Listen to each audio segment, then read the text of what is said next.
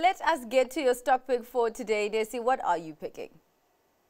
So it's a, it's a company that we've liked for a while. It's Spear Property Fund. Uh, it's a it's a Western Cape uh, property exposure predominantly in, in retail and mixed use and, and industrial as well. I mean, leasing fundamentals, if we look at the market across SA, I mean, it tends to be, there's tended to be, I guess, the last two years a lot stronger in the Western Cape mm-hmm. due to buoyant jobs market. I mean, you've had some success, success with BPOs also growing into that office sector. So, so Spear's done well, I guess, to grow their asset base. They're sitting at about 4.6 billion total assets.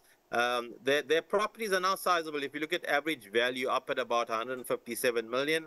The run rate in operating metrics very strong. I mean, year to date uh, this year, I mean, occupancy is around 95%, and they're getting a healthy level of in-force escalations at about seven and a half, with rental positive rental reversion till about July of about about four. So They've been acquisitive over the period as well. Um, they bought a, portfolio of assets from Emira, uh, which was a combination of retail, industrial, and, and mixed use. High quality, uh, 1.1 billion acquisition, uh, NOI yield after fees about 9.5%. What we like about these type of deals is that, I mean, there's potential for further asset management that can be done. The gross rentals, if you look at it in industrial properties, are quite nice, anywhere between 71 to 82 at the at the top level. But it, but it's a fund which has a, a very conservative balance sheet. Um, LTV sitting at about 32.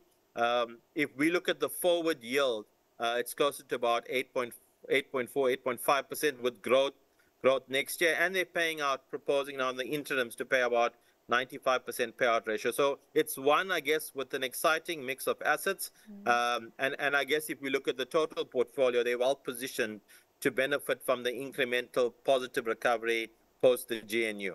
Ah, all right. Well, thank you so much for your time and for your analysis on what has moved investors' money today, Nesi. That was Nesi Chetty from Stanlib.